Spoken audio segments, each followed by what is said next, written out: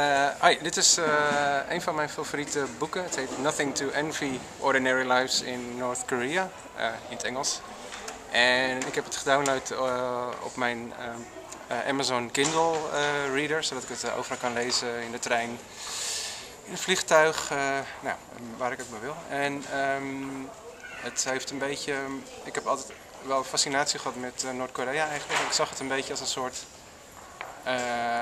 museum ter grootte van, van, een land. En het fascineerde me wel. Maar nu ik dit boek heb gelezen, uh, een verslag van een, bewoner die er heeft gewoond, ik heb er toch wel een andere kijker op gekregen. En zie ik toch wel als iets um, erg uh, kwaadaardigs. Dus het heeft me wel um, veranderd. En eigenlijk wil ik er nu ook liever niet meer uh, naartoe, denk ik. Dus, dus, dat is mijn verhaal over dit boek. En kinderboeken zijn heel handig om mee te kunnen nemen naar bijvoorbeeld als je in de rij staat voor de supermarkt maar dan kun je beter niet uh, dit soort uh, dingen lezen, maar beter iets, uh, een luchtiger variant.